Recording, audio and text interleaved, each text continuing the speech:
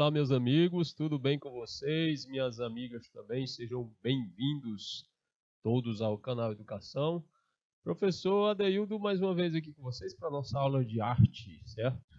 E a gente está aí vendo alguns assuntos interessantes nessa semana. Hoje eu trouxe para vocês uma linguagem artística urbana.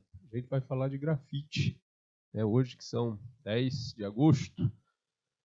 Vamos lá então. Aqui no Brasil, grafite é ainda é ainda não, não só aqui, mas em todo lugar, é ainda visto como uma arte meio ali no gueto, né? meio, meio marginalizada e tudo, mas a gente vai explicar por que, acontece isso. Inclusive, tem dois termos usados aqui no Brasil para essa arte. Olha só que imagem bacana aí. Grafite é um tipo de manifestação artística, gente, que vai surgir em Nova York, nos Estados Unidos, lá na década de 70 e vai consistir como um movimento organizado nas artes plásticas. Ou seja, ele aparece, certo, como uma expressividade das ruas nas grandes cidades dos Estados Unidos, principalmente em Nova York, e depois ele vai se organizando como um movimento de arte plástica, em que o artista cria uma linguagem intencional para interferir na cidade, aproveitando os espaços públicos da mesma né, para crítica social. Então a gente vai ter uma arte de orientação crítica social. Ok, está aqui, vamos marcar.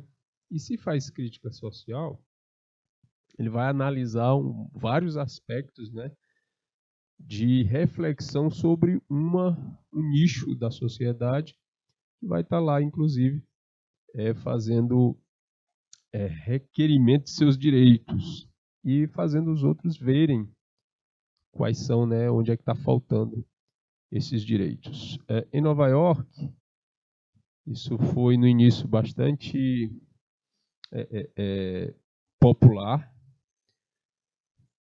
e por uma parte e impopular por outra, certo? Hoje a coisa está mais equilibrada.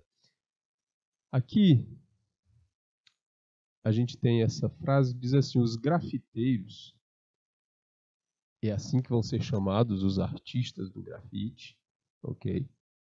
Expressam narrativas da cidade. Aí isso joga em torno da atividade uma coisa bastante urbana. Questões diversas que atravessam a realidade social, propondo críticas e reflexões por meio das formas, cores e traços nos muros. Junto a outras expressões artísticas, o grafite faz parte da cultura popular do hip hop, que traduz as vivências da rua por meio da arte. Então, deixa eu explicar. O hip hop é um movimento cultural, também nascido nos Estados Unidos e ele tem três linhas de expressão: a arte, a arte gráfica, certo? Gente vai chamar aqui só de arte. A dança, certo? E a música. Então, como é que fica? A arte vai ser o grafite. Dentro da cultura hip hop, a arte é o grafite. A dança vai ser o break, muito difundido na década de 80. E a música vai ser o Rhythm and Poetry, ou ritmo e poesia, conhecido lá por rap. Então, essas três vertentes que vão trazer uma forte característica de levantamento de questão, de criação de, de reflexão sobre é, é, essas questões né, que atravessam a realidade social, vão buscar essas expressividades, levantar esses questionamentos através da música, da arte gráfica e da dança, cada um representando aí no grafite, no break e no rap, ok? O cantor de rap, ele é chamado de mestre de cerimônias, em inglês Master of Ceremony, aí fica a sigla MC, para o cantor do rap, que na verdade ele é, é uma poesia cantada, não é exatamente é, é o canto tradicional, né? Mas aí fica é, para vocês entenderem essa característica. O grafite que a gente está falando aqui é do grafite urbano, mas essa atividade de grafar na parede, de grafar nos muros, é bem mais antiga. Segundo a origem do grafite, essa palavra vem do italiano grafito, grafito, que quer dizer em latim e italiano escritas feitas com carvão ou escritas feitas em paredes. No idioma grego, a palavra vem de graphen, que significa escrever. Então, lá desde a pré-história, né, que essa coisa de fazer a expressividade gráfica nas paredes, principalmente nas paredes das cavernas e, e paredes de encostas, já era uma prática artística, certo, de expressividade do dia a dia. Então, o grafite remonta para a história e as manifestações dos romanos antigos feitas nas paredes como forma de protesto. Lá na pré-história vai ficar como forma de expressar o dia a dia, o cotidiano e as experiências visuais, certo, dos, dos, dos homens pré-históricos. A gente não vai chamar homem das cavernas porque não moravam exatamente moravam em cavernas. Eles usavam as cavernas para outros tipos de atividade. Mesmo porque era complicado morar em caverna, já que tinha muita umidade, animais maiores, questão de animais peçonhentos, etc. E aí ficava assim como mais ou menos como um nicho de uma proto-religião. Na Roma antiga, eles vão usar esses grafites como forma de protesto. E isso vai se aproximar muito do grafite de protesto que aqui no Brasil a gente chama de pichação. No final da aula, a gente vai estabelecer melhor aqui essa diferença entre pichação e grafite. Com a evolução das técnicas de pintura na Idade Média, só lembrando, né, a Idade Média foi de 476 até 1453 depois de Cristo, foi quase mil anos de, de Idade Média, né? As igrejas passaram a usar essas práticas em afrescos, essas mesmas práticas de pintura em paredes, feita na pré-história e depois usado também na Roma antiga, foi usado como prática em afrescos, uma técnica de pintura feita nas paredes e no teto das igrejas. Toda vez que a gente fala de Idade Média, né, a gente está como exemplo a arte religiosa. Mas por quê? A Idade Média é marcada exatamente pelo peso da mão da igreja na Europa. Foi quando a religião cristã se estabeleceu como religião de poder político. Ok? E toda a Europa, durante a Idade Média, foi regida tanto pelo poder político quanto pelo poder religioso. E a religião cristã era a religião com maior poder político na Europa. Então mandava e desmandava, fazia tudo, orientava sobre tudo, principalmente sobre a arte. Né? Aliás, também sobre a, principalmente sobre a religião, mas também sobre a arte. Era uma segunda parte bastante forte. No século XX, a arte mural obteve reconhecimento por meio de nomes como Picasso e Miró, que fortaleceram a expressão cubista. No Egito Antigo, a gente pode ver aí grafite do Egito Antigo, as pinturas eram predominantemente simbólicas, porque elas estavam numa narrativa de representação, né, mais do que leitura da realidade. Então, estes foram realizados principalmente em túmulos e templos, de modo que se observou que os principais temas expostos neles eram religiosos e funerários. Poucos deles, em túmulos e templos, tinham essa característica aqui dessa imagem que, é, que são de atividades do dia a dia. Certo? De, de arar a terra, de cuidar de criação, etc, etc. Mas isso era feito uh, uma técnica parecida com a do afresco, ok? E como sempre na, na, na, na eita o nome, na civilização egípcia, a maior parte das pinturas eram feitas em lugares que mereciam essas pinturas. Não era em todo lugar que se fazia, porque existia na, na na civilização egípcia, esse nome está amarrado na minha boca. uma coisa chamada de lei da frontalidade ou lei da lateralidade. Não era uma lei frontalidade. Não era uma lei que estabelecesse apenas a forma de desenhar, pintar e, e, e expressar né, a realidade, mas ela também legislava sobre quais locais deveriam ser esculpidos e receber pintura. Não era uma coisa cultural, era uma coisa imposta, era uma lei. Os pintores, os escultores e os, os desenhistas egípcios, eles tinham que seguir essa, esse padrão estabelecido pela lei da frontalidade.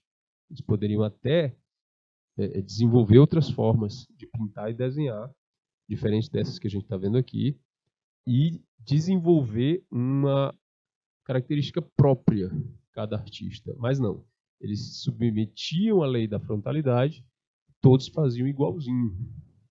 Entrava a geração, saía a geração de artista, eles tinham que reproduzir o padrão. Isso foi diferente com os gregos, a gente vai ver depois. Ok? Na Roma Antiga, durante o tempo do Império Romano, era comum encontrar grafites em cidades como Roma, Ostia e Pompeia. Havia todo tipo de mensagens a serem transmitidas nos grafites da época, incluindo mensagens sexuais, mensagens de propaganda, inscrições e outros. Lembrando que Roma, essas cidades, né, Ostia e Pompeia, eram grandes centros urbanos da Roma, da, da, da, do Império Romano Antigo. A própria cidade de Roma, que era imensa para a época, chegou a ter quase um milhão de habitantes. Isso para a época era uma cidade muito grande, muito populosa. Ostia e Pompeia não tinham tanta gente assim, mas eram cidades importantes. Então, o, a característica do grafite de Roma vai envolver muitas coisas das relações, das relações de consumo, das relações pessoais, né, políticas e sociais.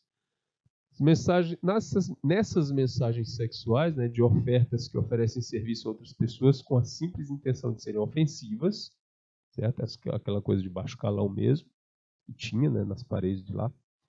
Mensagens de propaganda, promovendo lutas de gladiadores, integridade de atletismo e caça inscrições. As pessoas costumavam escrever seus nomes para indicar que estavam em um determinado local. Né? Uma prática agora muito comum. Tipo, fulano esteve aqui.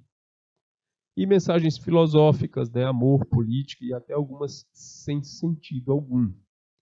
Esses grafites eles eram feitos assim, meio que esculpidos, né? cavados na, na, na parede.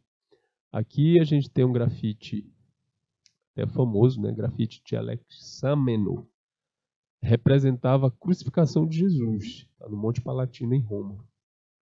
Era uma ofensa ao Nazareno, né, naquele tempo Jesus foi crucificado porque era é, considerado né, um inimigo político, porque estava fazendo, segundo o Império Romano, né, a ruaça, e é até uma, um grafite ofensivo, porque eles fizeram a cabeça aqui dele como um cavalo.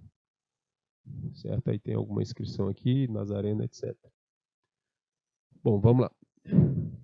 História do grafite. Há diferentes relatos sobre o surgimento do grafite de forma como é conhecido atualmente. A gente vai ver aqui como é a história do grafite igual que a gente vê hoje, né? aquele grafite que a gente vê hoje. Como foi que ele apareceu. O início e a expansão dessa arte são explicados por alguns como advinda dos movimentos contraculturais de estudantes parisienses. Professor, o que, que é um movimento contracultural? São as atividades de protesto sobre movimentos, aliás, sobre, sobre padrões comportamentais da sociedade conservadora, né, tradicional, que eram contestados. Uh, um dos movimentos contraculturais mais famosos é o movimento hippie, Certo? Depois apareceram outros, etc. Então, em, em Paris, maio de 1968, certo? muitos estudantes estavam é, a par e viviam esses movimentos contraculturais. Certo? Esses jovens realizavam protestos políticos por meio de pinturas em muros. Mas foi nos Estados Unidos, mais precisamente nas periferias de Nova York, que o grafite ganhou propulsão para ocupar ruas e becos de todo o mundo. Na década de 70, em meio à negligência, falta de planejamento urbano e expansão da criminalidade, jovens de bairros da periferia nova-iorquina passam a difundir uma nova linguagem artística. Isso tudo banhado né, de muita crítica social e política por conta da maneira com que os governantes né, olhavam ou deixavam de olhar para esses nichos sociais que são o, o, as periferias né, das grandes cidades. Nos Estados Unidos é comum encontrar artes em grafite nos becos. E em Nova York, uma cidade imensa, é muito comum encontrar esses becos. Assim. Esses becos eles ficam entre os prédios, muitas vezes entre grandes arranha-céus, e é até perigoso passar por esses becos, porque muitos deles são são desertos mesmo, só são espaços para colocar as latas de lixo. Muitas vezes a gente vê isso muito em filme, né, que tem perseguição, aquela coisa toda. Passa mal um carro entre é, esses becos. E aí eles ocupam esses espaços, né, porque ficam uh, uh, a polícia na ronda, ela não não não passa muito por esses becos, então fica um tempo interessante para ficar usando a parede do beco para fazer essas pinturas, porque grafite em algumas cidades americanas ainda é crime. Bom, dessa forma, a arte do grafite, desde o seu surgimento, se deparou com a necessidade de transgredir um sistema opressor.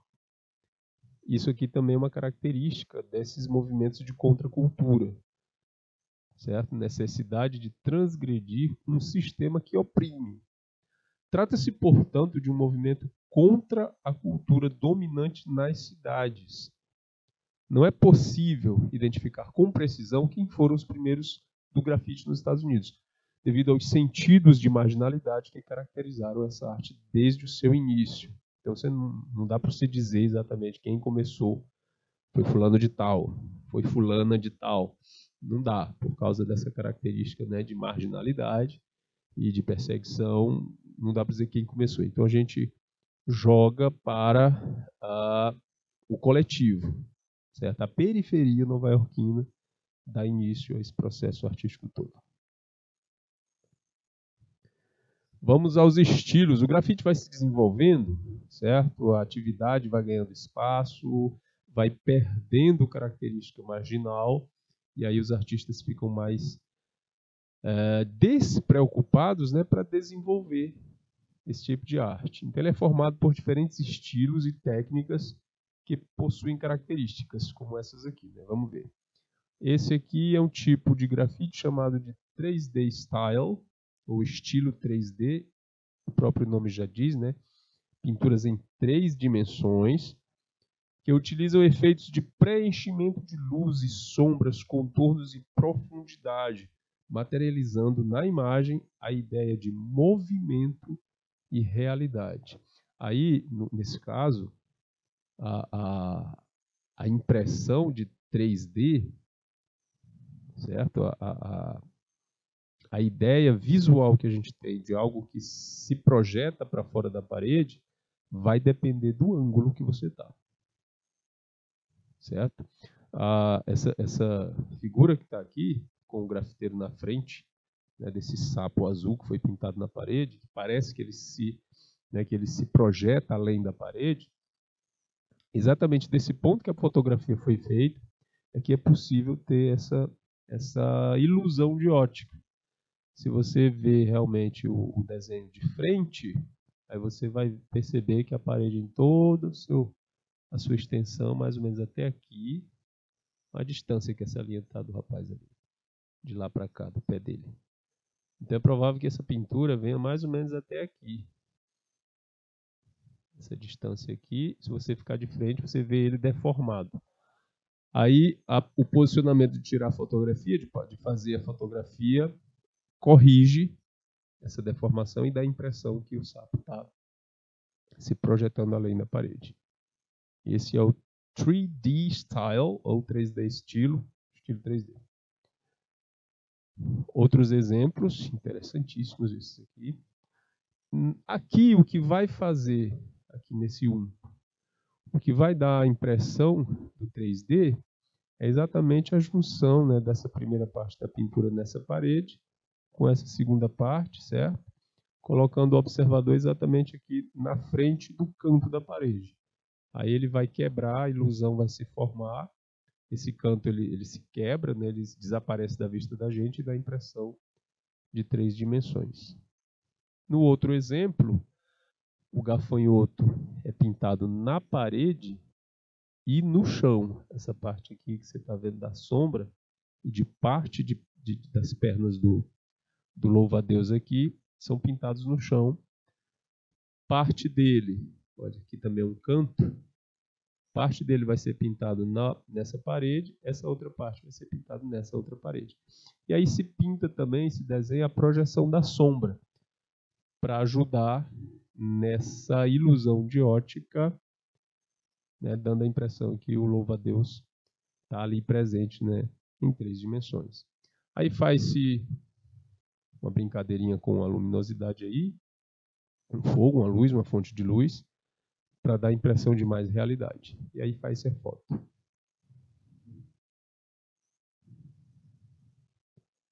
Outro estilo é o throw-up ou bombs, é usado em pinturas rápidas, com formato arredondado e letras gordas, engraçadas ou deformadas. Para quem está começando no grafite, e geralmente esse início se dá dentro da escola, ou seja, os adolescentes, geralmente de, das últimas séries do ensino fundamental e do ensino médio, eles se veem encantados por, por vários esti estilos desculpe, de desenho e de pintura, e o grafite é um dos que envolve né, essa empolgação. Então, muitos deles se jogam na atividade de criar o próprio estilo de letra, certo? E fazem pinturas grafitadas nas capas dos cadernos, certo? Muitas vezes no tampo da carteira escolar, a gente vê muito isso em escola, ou quando a escola promove um projeto de execução de grafites projetados, né, através do professor de arte ou, ou de, de, de outra expressividade dentro da escola. E aí eles vão, aproveitam os alunos que estão nesse, nesse exercício né, de criatividade e eles vão e colocam seus trabalhos lá para serem né, fruídos.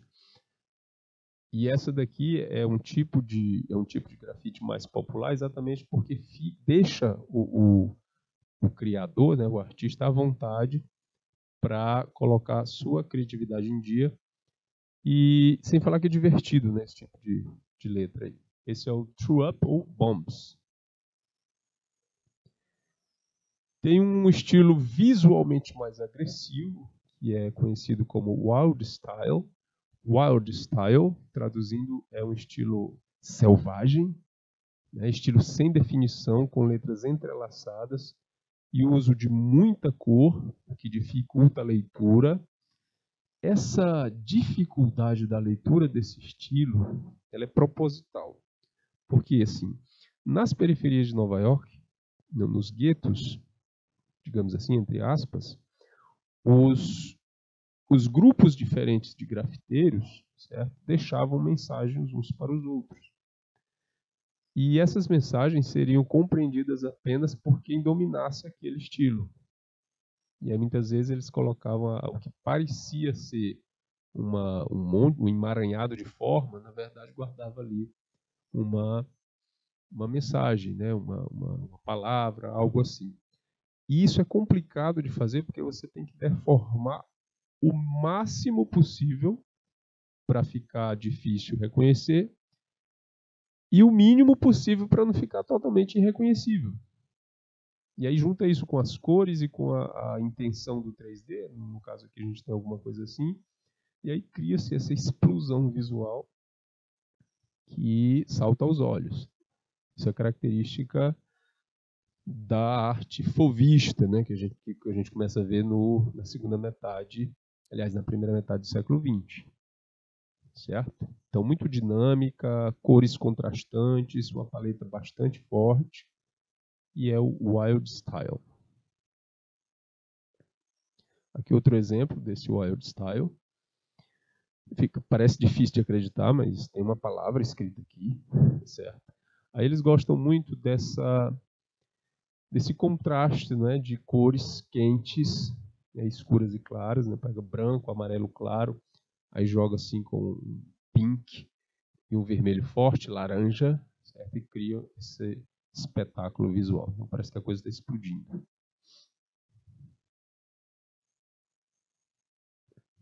E também tem o freestyle.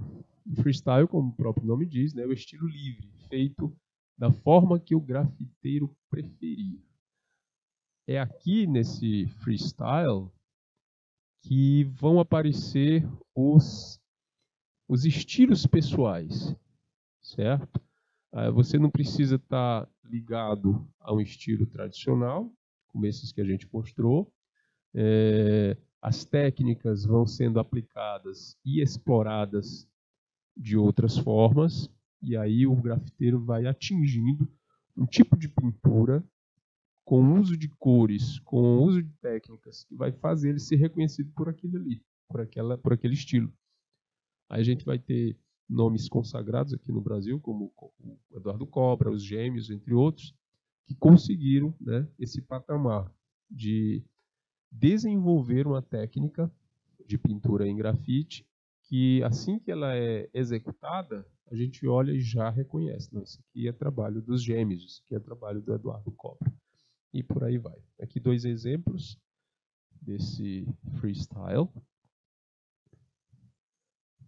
Aqui desse lado, a gente vai ter um, uma pintura da entrada de um túnel. Então, não é só parede, parede, muro, né? Eles vão pintar também outras partes da cidade, muitas vezes não uma parede, apenas um arqueado ou blocos de concreto que ficam em locais né, abertos, também vão ser usados para essa pintura. É interessante dizer também que no grafite, aliás, que o grafite dentro das cidades, né, dentro da como arte urbana, é conhecida como arte de intervenção. Eita, que a letra está ruim. Intervenção, arte de intervenção, porque ela intervém no, é, é, é, no aspecto visual da cidade. Ela faz uma intervenção na paisagem, mudando, né, modificando essa paisagem. Essa ideia aqui do, do túnel, por exemplo, é interessante por causa da coisa da entrada, e olho, boca, etc. Ok? Alguns grafiteiros conseguiram destaque no mundo todo. Aí a gente tem trabalhos como o do Jean-Michel Basquiat, do Banksy e o Edgar Müller. O caso do Jean-Michel é interessante, um artista nova-iorquino que vai começar suas produções com inscrições feitas em edifícios abandonados de Manhattan e se tornou destaque na arte contemporânea pelo mundo. Para falar do Jean-Michel Basquiat como artista completo, né, a gente poderia ter aqui uma aula toda sobre ele. Mas a, a, como grafiteiro, a gente vai deixar essa parte aí. O Jean-Michel Basquiat é, ele estabelece um símbolo para o grafite que é seguido até hoje no mundo inteiro, que é essa coroazinha aqui, ó. Onde você chegar, tiver um grafite na parede e tiver essa coroa desse jeito aqui, aí você vai perceber que o grafiteiro ali que fez aquela, aquela pintura, ele recebe influência e ao mesmo tempo faz uma homenagem a Jean-Michel Basquiat, que foi o primeiro artista negro nos Estados Unidos que conseguiu destaque na arte contemporânea.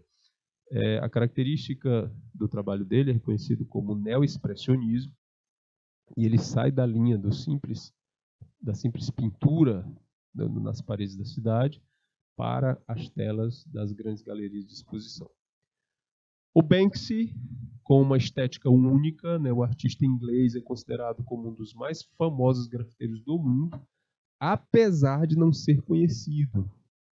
Como assim, professor? Ele não é conhecido e é famoso? Ele é famoso pelas pinturas e pelo, por esse codinome, né, Banksy. Mas não é todo mundo, né, pouquíssimas pessoas sabem quem ele é. As suas obras são feitas pela técnica do stencil, caracterizada pelo desenho feito inicialmente em um suporte, né, como papelão, e posteriormente colado à parede. Na verdade, é um, um molde. Ele faz bastantes moldes, é, são moldes vazados, podem ser de plástico ou de, né, de acrílico, acetato ou de papelão, para ajudar né, na rapidez do processo de, de formação, de composição da pintura em grafite. Bem que se usa muito isso. No, na, na, no Reino Unido, o Banksy é conhecido principalmente por fazer grafites em alusão a essas reflexões acerca da política e da, da vida social das pessoas e críticas às políticas internacionais né, do, do Reino Unido, da Grã-Bretanha, né, conhecido como Inglaterra. Aqui por nós, a gente chama mais de Inglaterra. Então, ele faz muita crítica política ao papel, principalmente do primeiro-ministro, dos primeiros-ministros governantes da Inglaterra, quanto à questão do povo. Certo? Ele foi convidado no ano de 2020, salvo engano, ou 2019, não lembro, mas foi, foi recente. Ele foi convidado para fazer uma, para participar de uma exposição em que ele tinha que pintar uma tela com reprodução de um dos grafites dele. Então, ele, de início, ele disse: Não, não vou, porque ele sempre lutou contra essa coisa da, da mercantilização da arte, certo? da comercialização abusiva da arte. Ele achava que esse tipo de, de, de atividade não era legal, mas ele resolveu fazer o seguinte: ele pintou a tela. O, a moldura dessa tela ela era mais espessa porque ela carregava na parte de baixo um picador de papel automático desses que você põe a folha, né? E aí as lâminas vão cortando e picando o papel em tiras. Então ele fez essa pintura, colocou nessa armação toda, fez esse bafafá todo e acionou no momento que a obra foi comprada, que foi batido o martelo na exposição, né, que a obra estava à venda, ele acionou de maneira remota o, o picador de papel e na parte de dentro da moldura o desenho começa a descer e a ser picotado na frente de todo mundo lá. E ficou aquela. Isso foi filmado, vocês podem procurar depois essa história no, no YouTube mesmo, que está lá. E aí a geringonça empancou e só cortou até a metade. Ficou lá parado, o pessoal assustado e tudo. O rapaz que comprou, a pessoa que comprou, inclusive, já tinha feito a transação, já tinha pago. Olha só, o que foi que aconteceu? Ele quis fazer isso de propósito, para chamar a atenção para essa coisa do valor real da arte. E, na verdade, o que ele conseguiu, por causa da característica inusitada do mercado de arte, foi quadruplicar o valor do quadro. Porque ele lançou uma coisa inédita na história da arte, um processo que ninguém tinha vivido ainda e que fez parte tanto dessa coisa da tecnologia, certo? E das mídias sociais e foi televisionado e tudo, e a pessoa que comprou conseguiu passar para frente com o quádruplo do valor. Outro artista interessante nesse processo é o Edgar Miller. O artista alemão ficou conhecido por seus desenhos tridimensionais impressionantes, marcados pelos efeitos de ótica e qualidade artística. Aqui no Brasil, a contracultura se expressou também, né, por meio da arte, principalmente no movimento tropicalista, a cidade de São Paulo se tornou cenário de ascensão do grafite em meio à urgência de produzir diferentes expressões que falavam sobre opressões e mazelas sociais. Um dos primeiros trabalhos de grafiteiros feitos em locais públicos da capital paulista foi do artista etíope radicado no Brasil, Alex Valauri. Aliás, o dia do, do, nascimento dele é considerado o dia do grafite, ou o dia da morte, o dia da morte. Então está aqui, a obra intitulada Boca de Alfinete, 73, evidenciou a censura da ditadura militar. Foi pelo seu pioneirismo e sua influência que o dia da sua morte, 27 de março, tornou-se a data comemorativa ao dia do grafite no Brasil. O período da ditadura militar evidenciou o desafio de fazer arte também pelos grafiteiros, já que a prática do grafite era considerada ilegal a busca por expressar as aflições sociais sempre esteve associada ao fazer grafite. E nessa atividade se destacam três nomes, os principais nomes do grafite brasileiro: Eduardo Cobra, Crânio e Os Gêmeos. O Cobra, da periferia de São Paulo, para o mundo, né, se, se projeta, ele é reconhecido por suas obras em muros que podem ser vistas nos cinco continentes.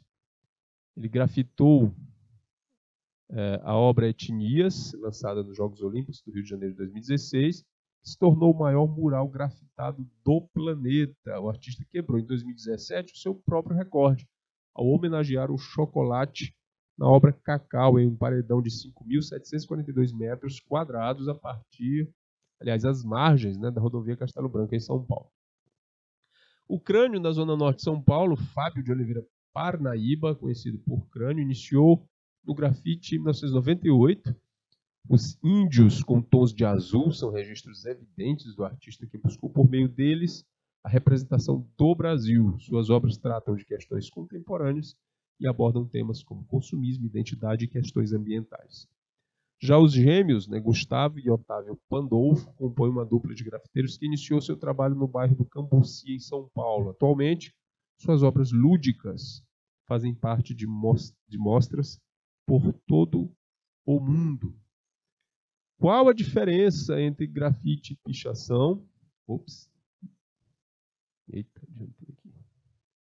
Bom, por apresentar algumas características em comum, o grafite é facilmente confundido com a pichação. Entretanto, a pichação é caracterizada pela escrita em locais públicos sem autorização, muitas vezes com o objetivo de insultar alguém ou protestar contra algo. O grafite se refere a uma manifestação artística que envolve um processo de criação feito com autorização. Já a pichação é uma intervenção agressiva associada a atos de vandalismo. Então é fácil dizer, o grafite é arte, a pichação não é, fica muito claro. E a pichação é responsável né, pelo acúmulo que a gente chama de poluição visual.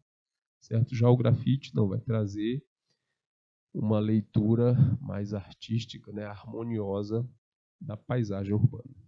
Ok? Vamos a. Trouxe uma questão aqui para vocês, duas, né? Vamos analisar aqui. Essa é uma questão de Enem, tá assim, porque veio a figura do jeito que estava lá.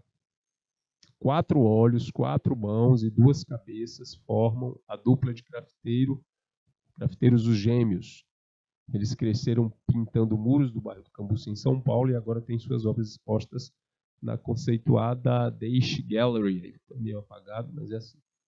Em Nova York, prova de que o grafite feito no Brasil é apreciado por outras culturas. Muitos lugares abandonados e sem manutenção pelas prefeituras das cidades tornam-se mais agradáveis e humanos e com os grafites pintados nos muros.